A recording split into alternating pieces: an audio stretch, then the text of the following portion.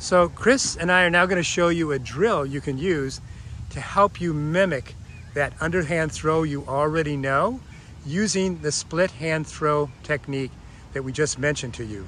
And remember, as you're using this drill, you're eliminating at least four of the major consistency robbers. Tension, feel, tempo, and rhythm in your swing every time you use this split hand throw approach.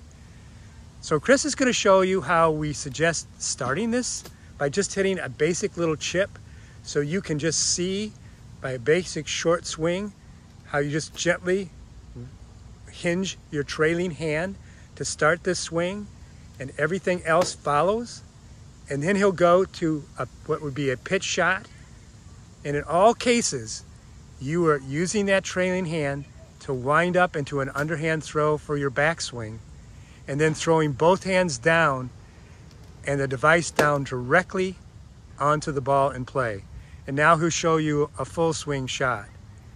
And each one of these are ways to build your underhand throw. You can see that this technique helps you keep your head down. It keeps your body stable so you don't have a lot of body motion. And as we said before, it keeps everything in sync. So all body parts are moving in conjunction and in support of the hand and arm throw that you're doing, which is the only swing now that you have. You have no other swing thoughts to worry about.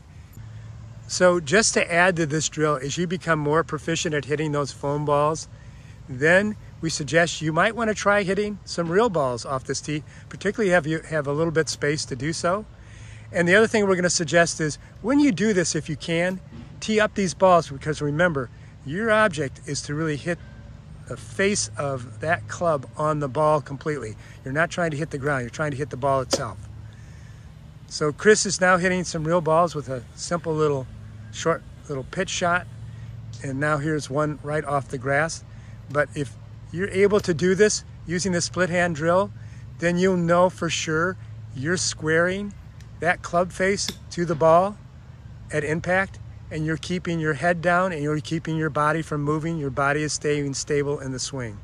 So it's just another way to test out your capability to use this swing.